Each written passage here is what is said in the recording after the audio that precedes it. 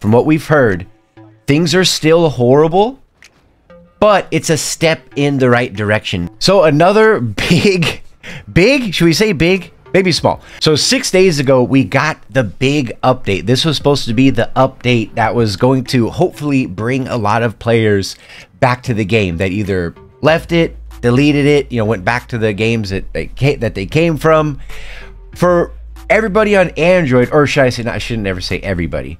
Uh, for a lot of players playing on Android devices, many were saying that the update actually made their game worse than it was before which is bad because the the before was also bad. But for iOS players, the update seemed to fix you know a, a lot of issues. Uh, other than the heating issue, which we'll get into, iOS it seemed like a lot of the problems were were ironed out.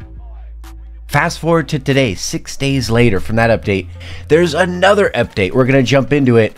Uh, as we're watching this gameplay, one thing I want to point out to you guys up at the top, right in the middle of the screen, you will see a Celsius meter and you'll also see an FPS counter. So, for those of you that are uh, watching from America, where we use Fahrenheit, 48 degrees Celsius is 118 degrees Fahrenheit. And uh, this gameplay, there is a cooler strapped onto the back of this. So just think about that 118 degrees, 48 Celsius is still super, super, super hot. I mean, that is, that's scorching. And that's with a cooler. A lot of people are recording that their devices are getting over 50 degrees Celsius. Ouch. So, anyway, let's go ahead and talk about the update, everything that they uh, they came to the game. All right, update notes, April 9th. All right, starting off at the top, graphics. Reduced overall memory usage for Android devices to reduce crashes. I know they really, and they should, be pandering to Android devices. The problem here is a lot of people playing on iOS devices, specifically phones, iPhone 15, 14, 13, and below are also suffering. So right away, you're alienating a lot. At least 30% of your player base feels alienated when they see an update only for Android. So just want to throw that out there. Uh, fix an issue causing graphical corruption and missing textures for some devices with Adreno uh, Adreno GPUs. All right, that's good. They're actually calling out specific processors. Uh, so if you don't know what yours is, make sure you guys go ahead and look it up. This might this this fix might have helped you.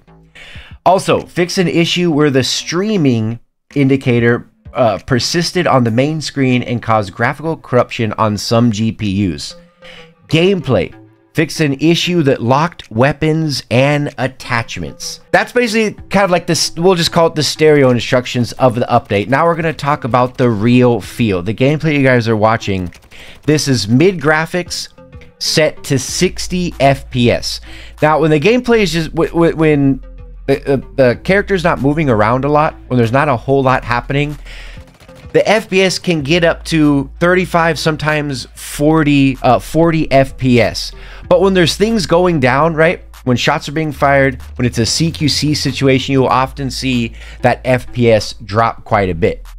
Uh, sometimes in the 25 to 30 FPS range. However, a lot of people are reporting playing on Android that the game does not feel as clunky. The game feels a little bit lighter and that's because the FPS, uh, see, like right here in that little uh, CQC situation, you saw the FPS drop to about 28 to 29. So when it's before, this FPS would be about 20, 20 to 25. So there are some improvements. They are taking steps in the right direction. This is where I have to come and I don't want to be I don't want to be the bearer of bad news. I'm trying I'm trying to make these positive videos the, the, the the best that I can. And of course, there's still the issue of people's uh, heads not showing up. I mean, the graph. I mean, you just just look at the gameplay. Just look at it.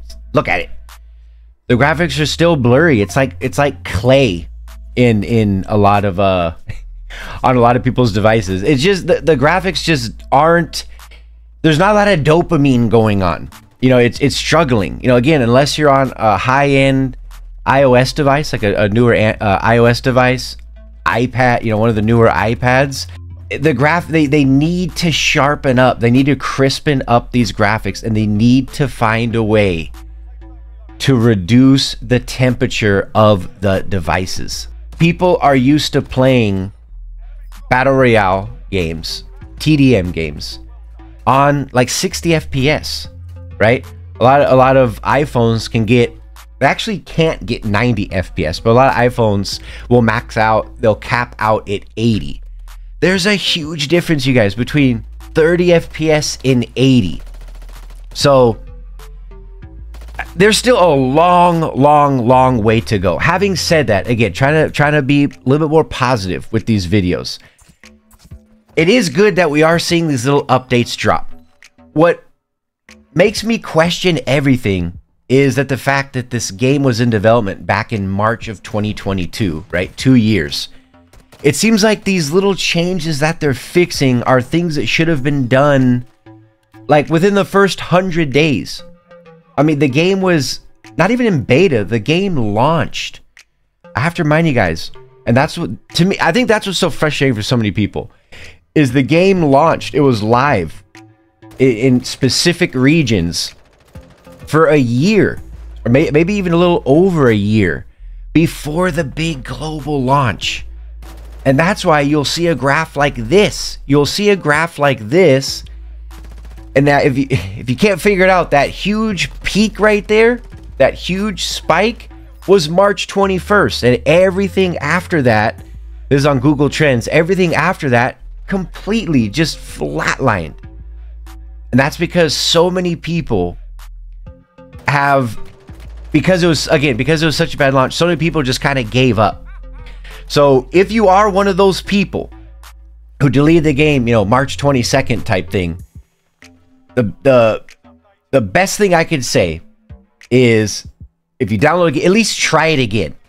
And if you do, come back into the comment section. Let me know. I read all the comments. Me and Sam are always sifting through the comments, and uh, I you know I'm I'm curious of someone who like deleted March 22nd. I'm curious if they've played, uh, you know, April 9th or April 10th. Have you know if there'd be a big difference? But from what we're hearing from Android devices, okay, from what we've heard, things are still horrible, but it's a step in the right direction. Things do seem to be getting like a little bit better. But the, the what I compare it to when you think about it is people are happy like any little good change or any like little fix that they make, people are going to be, you know, they're to get their pom poms out, they're going to be cheering hey, the game's getting fixed. But it's like they're trying to invent the wheel when we already have, you know, Ferraris driving down the street. These these again, these games are getting compared to games that have been around for years. They're old games, they're old ass games, but they've been around a long time. And the and these other games, these other battle royals, I don't need to mention. You guys know which ones I'm talking about.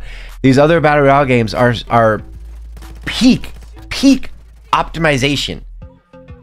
So when you when you play Warzone, you know the combat's fun, the the fights are fun, the engagements are fun, but it's the overall experience that just drags and weighs it down. But I mean, if they've dropped two little updates uh, in the last week, I mean, obviously we can all agree it's better than no updates. But I'm, I'll be the first one to tell you a step in the right direction, but a very long way to go to get this game to be where everybody was hoping uh, it would be at. Anyway, I'll see you in the next one.